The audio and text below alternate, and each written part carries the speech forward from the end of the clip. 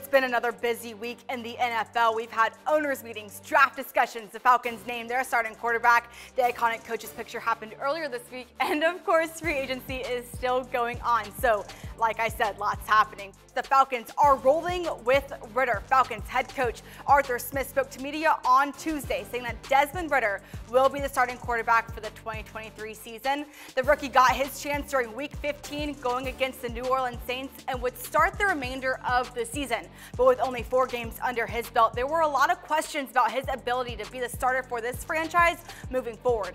And while the rumors of getting a different quarterback and even possibly drafting a new one were swirling around, Arthur Smith set the record straight. Ridder is the starter. But that's not the only big news coming out of Flowery Branch. And although the Falcons have been quiet since their first wave of free agents, they just made another big splash. The Atlanta Falcons have signed veteran defensive lineman Calais Campbell after his release from the Ravens in early March. The 36-year-old has spent 15 seasons in the NFL and is one of the most seasoned players in the league.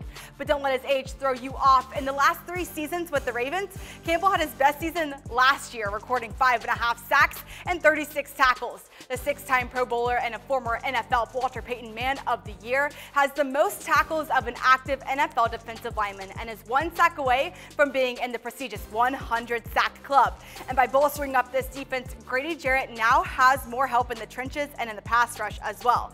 This defensive line that Smith and defensive coordinator Ryan Nielsen are putting together in Jarrett, Campbell, David Onyemata, Ta'Quon Graham, and the newly reinstated Eddie Goldman is shaping up to be a powerful one. But speaking of linemen, Kaleb McGary has been re-signed with the Falcons.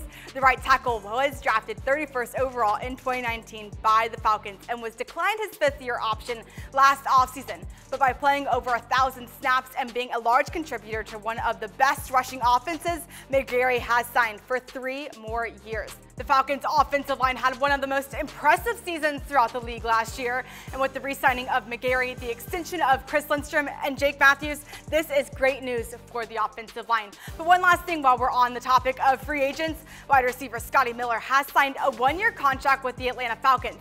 Miller has been with the Tampa Bay Buccaneers since being drafted back in 2019 and hopes to elevate this wide receiver room even more.